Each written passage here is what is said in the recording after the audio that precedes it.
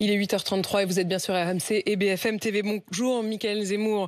Vous êtes économiste, vous êtes maître de conférence à l'Université Paris 1, Panthéon-Sorbonne. Vous êtes aussi euh, du côté un peu de la politique puisque vous faisiez partie de ceux qui avaient euh, soutenu la NUPES au moment des, euh, des élections. Mais surtout, vous êtes l'homme des 1200 euros. L'homme des 1200 euros parce que vous êtes celui qui aviez euh, soulevé le loup autour de cette idée qu'il y aurait peut-être une retraite minimum à 1200 euros. Et c'est pas rien, parce qu'en cette journée de décision du Conseil constitutionnel, ça pourrait être l'argument principal donné au Conseil constitutionnel. On va y revenir dans un instant. Je le disais, il y a trois scénarios sur la table pour le Conseil constitutionnel. On va essayer de tirer les trois fils ensemble et voir les conséquences Cette histoire des 1200 euros, ça peut tout changer. Pourquoi? Eh bien Parce qu'il y a un argument qui est nécessaire pour le Conseil constitutionnel pour pouvoir considérer que l'examen de la loi de réforme des retraites est bien constitutionnel, c'est celui d'un manque de clarté et de sincérité des débats. Il faut s'assurer que les débats ont bien été clairs et sincères. Est-ce que ça a été le cas? Sur les 1200 euros, je pense que la, la clarté et la sincérité n'a pas été euh, très grande dans le débat public en général d'abord. C'est-à-dire qu'il y a une communication qui a pu laisser entendre qu'il y aurait une retraite minimale à 1200 euros, ce qui n'est pas le cas.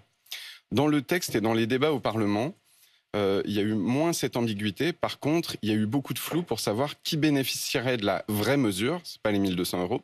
La vraie mesure, c'est une revalorisation de certaines petites pensions. Et pendant effectivement des semaines, un feuilleton euh, un petit peu long, euh, le gouvernement a mis du temps à savoir lui-même peut-être et à communiquer le nombre de personnes qui seraient concernées pour se rendre compte que finalement on n'atteindrait 1200 euros qu'une dizaine de milliers de personnes dans les premières années.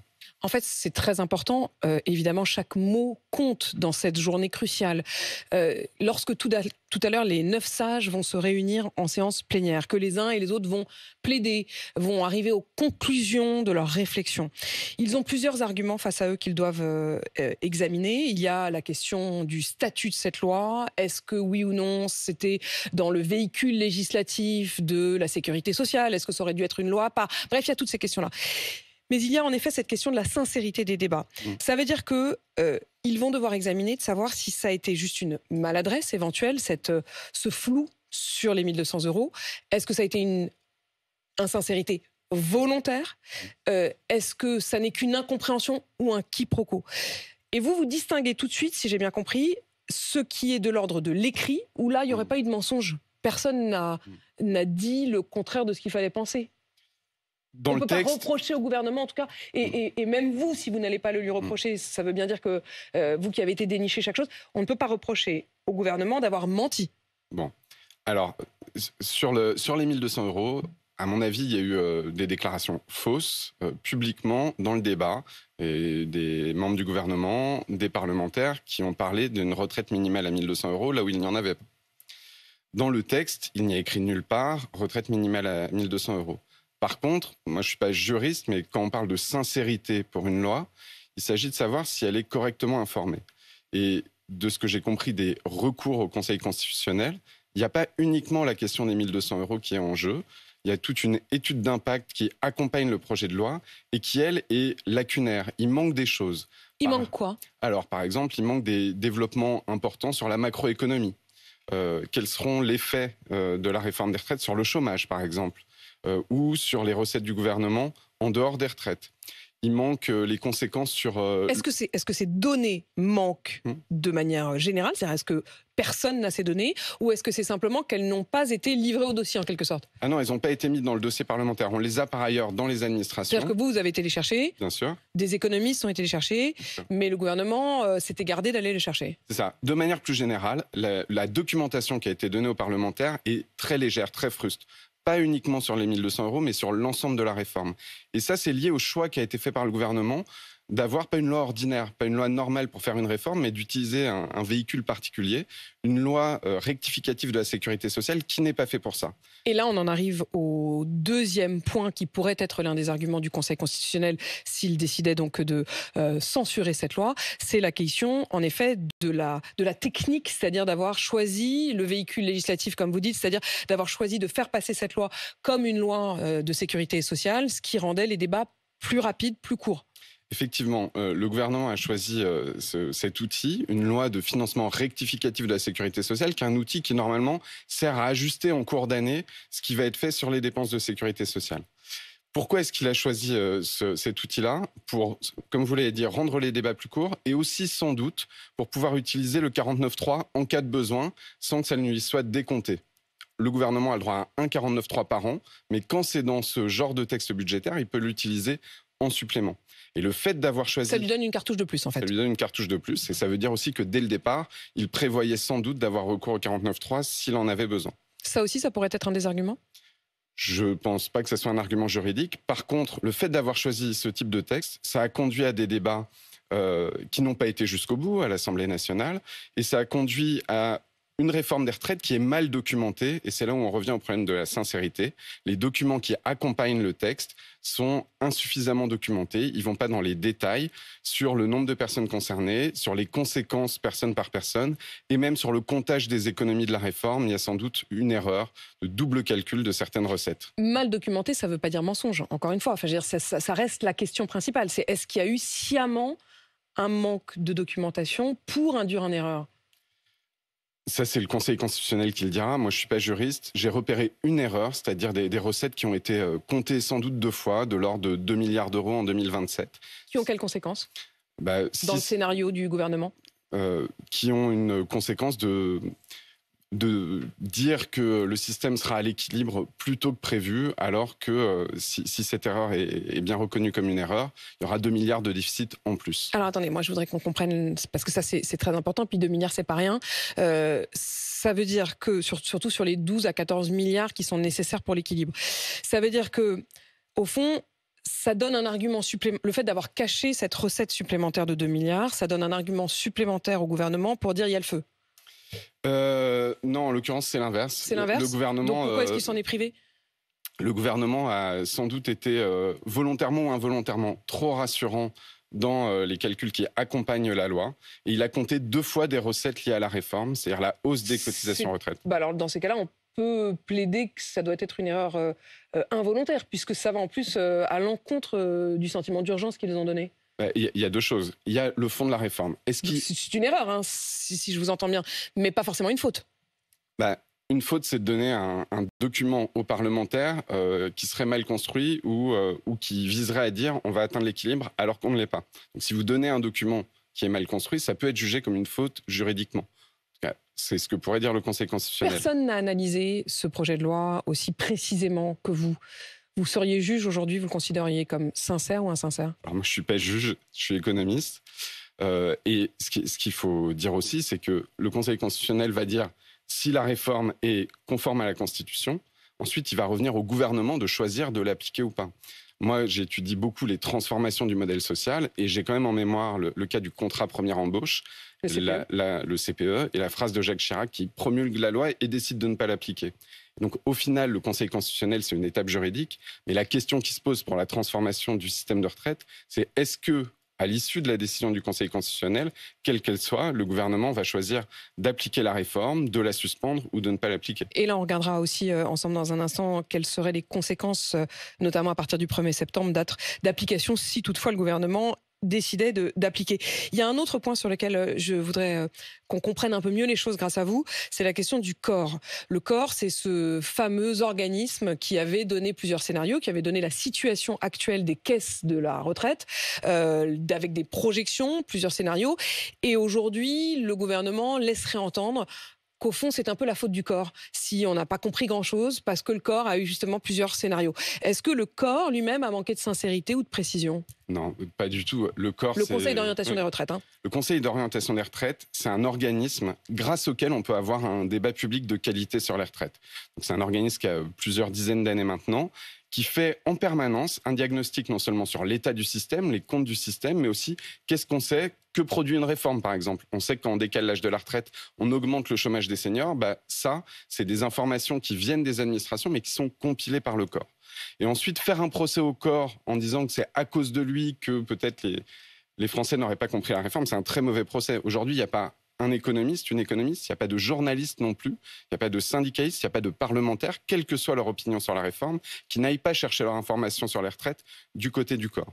Donc c'est vraiment un mauvais procès. On a le sentiment que le gouvernement en pointant son regard du côté du corps, essaye de se dédouaner d'une réforme sur laquelle il n'a pas réussi à convaincre. Alors imaginons le deuxième scénario, le scénario où le Conseil constitutionnel retoque une partie de euh, la loi, une partie des articles, et notamment l'article qui semble quasi certainement retoqué par le Conseil constitutionnel ce soir, c'est celui sur l'index senior.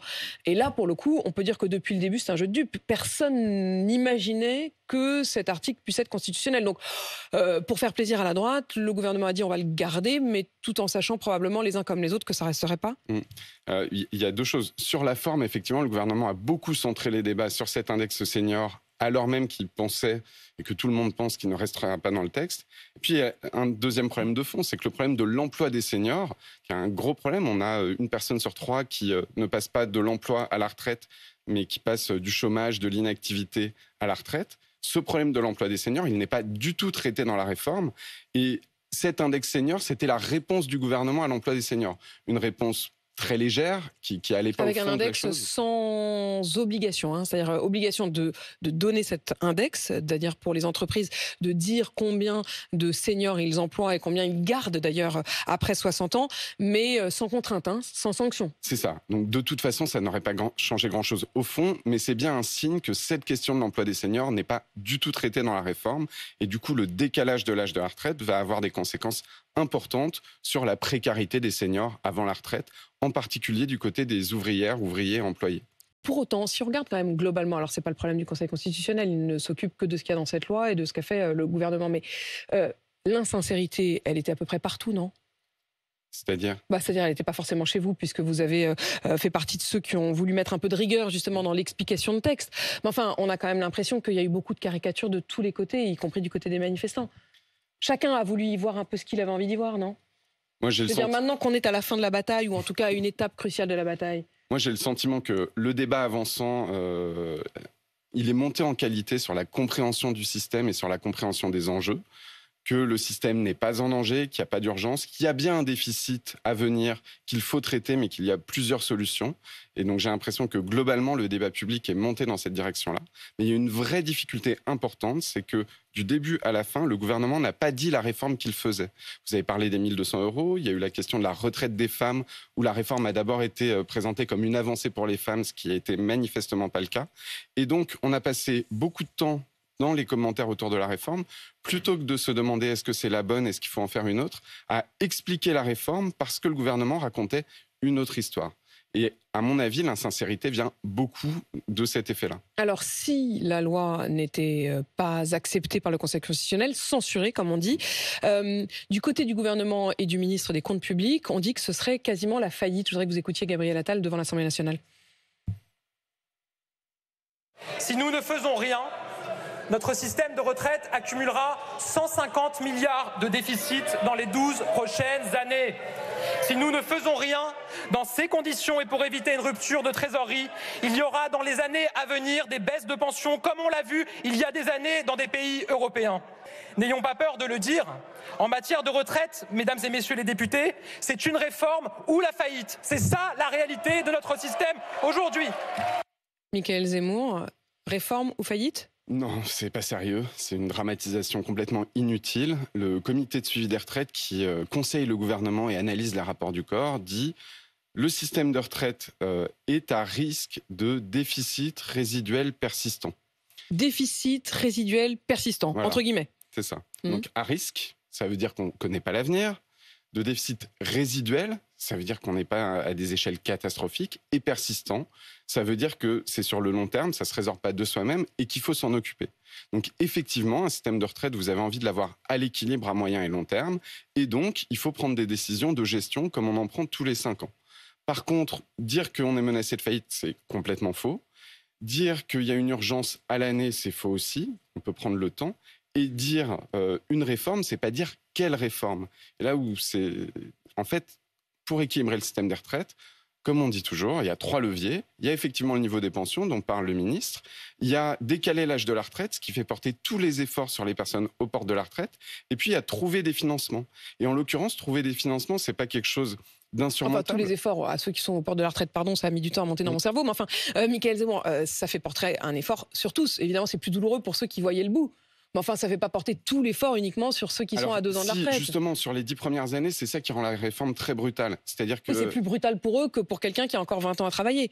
Bah, mais il porte lui aussi sur ses épaules euh, la réforme des retraites quand même. Ça ne porte pas tout sur les deux dernières années. Alors, faut raisonner en deux temps. Effectivement, la réforme concerne tout le monde. C'est-à-dire qu'on va décaler l'âge de la retraite. Ça ne concerne pas les retraités, ça concerne tous les actifs et les actifs. Oui, mais quand vous dites cette phrase, quand vous dites ça fait reposer tout sur les épaules de ceux qui sont à, à quelques mois ou quelques années de la retraite, c'est pas tout à fait vrai quand même, Michael Zemmour. Bah, vous dramatisez vous aussi finalement. Non, je m'explique. Euh, on fait 17 milliards d'économies dont une partie sont redéployées. Quand on décale l'âge de la retraite, pendant les 10-15 premières années, 17 milliards d'économies reposent sur les seules personnes qui partent en retraite. C'est-à-dire que pendant ces 10 ans, personne d'autre ne contribue à l'équilibre du système. Et donc, ça veut dire qu'on fait reposer 17 milliards d'économies sur 5 ou 6 millions de personnes. Oui, mais la douleur de travailler deux ans de plus, euh, que vous ayez 20 ans et euh, encore des années de travail devant vous, que vous ayez 40 ans ou que vous ayez en effet 60 ans, c'est peut-être plus douloureux pour ceux qui y étaient presque, euh, mais ça rajoute deux ans à tout le monde. Alors, ça rajoute deux ans à tout le monde, mais il y a bien un effort supplémentaire qui est demandé par la réforme, et notamment avec l'accélération de ce qu'on appelle la réforme Touraine. C'est-à-dire qu'on va passer de 42 ans de cotisation à 43 ans de cotisation à un rythme beaucoup plus rapide que ce qui été prévu. Et donc, pour aller vite, les personnes de 58 ans, 59 ans, 55 ans et plus vont supporter un effort supplémentaire qui a été mis dans la réforme explicitement pour faire des économies très vite.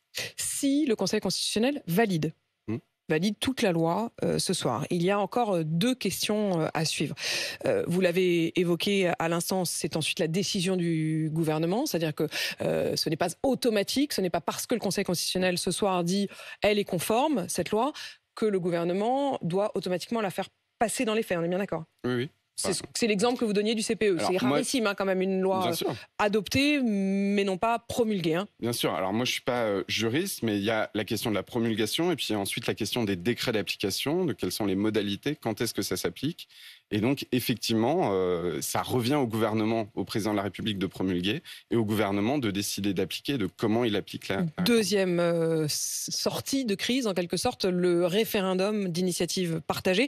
Là aussi, euh, le Conseil constitutionnel devra se prononcer ce soir sur l'acceptation ou non, la constitutionnalisation ou non de ce référendum d'initiative partagée qui est proposé par une partie de l'opposition. là, dans ce cas-là, ça repousse de six mois et ça permettrait effectivement qu'il y ait un référendum populaire. Il faudrait trouver 4,8 millions de Français qui signent la pétition en faveur de ce référendum. Hein. Donc c'est à plusieurs, c'est une fusée à plusieurs étages. Ça vous paraît une sortie de crise euh, possible? Bah, de ce que je comprends, le fait que si le Conseil constitutionnel valide cette perspective de référendum, ça n'empêche pas le gouvernement d'appliquer la réforme des retraites, mais ça pourrait lui donner une bonne raison de ne pas le faire, en disant si un référendum, on va attendre euh, l'application du référendum. Parce que si ce n'est pas le cas, on aurait une réforme qui s'applique dès le 1er septembre, c'est-à-dire que les personnes qui devaient partir fin 2023 ne pourraient pas partir avant l'année 2024. Et à côté de ça, vous auriez un référendum qui pourrait interrompre finalement ce changement. Michael Zemmour, vous faisiez partie de ceux qui non seulement dénonçaient cette réforme des retraites euh, dans les journaux, euh, à ce micro, mais également dans la rue. Est-ce que vous vous dites, ceux qui manifestent, le Conseil constitutionnel donnera sa décision ce soir, même si ça ne nous plaît pas, nous la respecterons?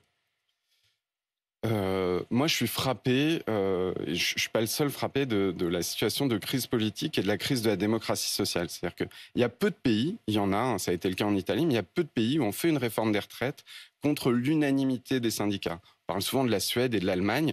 Dans ces pays, il y a eu des réformes des retraites, parfois dures, mais qui ont toujours été le fruit d'une coélaboration. Et quand vous regardez l'histoire des réformes sociales ou du marché du travail, souvent, euh, il y a des constructions de rapports de force, des conflits, mais qui aboutissent finalement à transformer les choses. Là, on est dans une situation où finalement le pouvoir est extrêmement concentré et on a une, crise sociale. Mais vous, Michael Zemmour, euh, s'il y a à nouveau des manifs, vous irez dans les manifs ou vous direz, bah non, le Conseil constitutionnel a décidé? Euh, bah Encore une fois, ce que, ce que je vous ai dit, moi personnellement, ce que je ferais, je ne sais pas. Euh, mais la, la, question de la crise sociale et de la crise politique, elle, elle restera ouverte. Le Conseil constitutionnel va dire si la réforme est conforme à la Constitution. La crise sociale et politique qui est ouverte, pour l'instant, elle n'est pas refermée. Elle n'est pas refermée. Michael Zemmour, merci d'être venu redonner toutes ces explications en ce jour crucial euh, pour la réforme euh, des retraites. Vous qui êtes donc économiste, bien sûr, et l'un des opposants de la première heure à cette réforme des retraites.